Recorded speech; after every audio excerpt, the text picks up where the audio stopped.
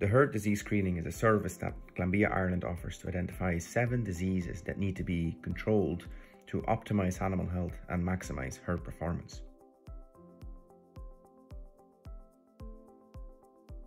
Um, we've been using it since 2013 because we, we, we were suspicious of a, a, problem in the herd. In 2013, um, IBR came back high. It was a reading of about 400, even though there was no clinical cases in the herd. From 2013 on, we've uh, we've we were vaccinating with a live live vaccine for so twice a year, every six months for IBRs in particular.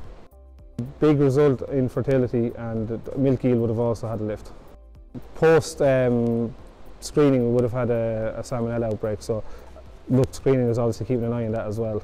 Neospora is becoming an issue, well, a concern, I suppose, in the herd. Uh, it's rising, and um, I think based on the results we're seeing coming back in the tank, we're going to have to go to individual testing, animal testing through the through either a blood or the, the milk recorder.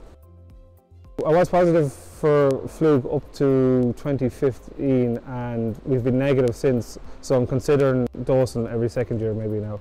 The land would be heavy so concern would be fluke.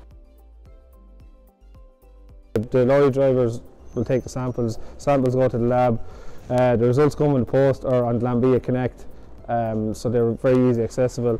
And there's also a sheet in the results that will explain to you um, how to interpret the results. So, like, once you get the results, like, obviously the, the sheet's there to explain it, but you'll be better off to sit down with your local vet to, to explain to you exactly what the results mean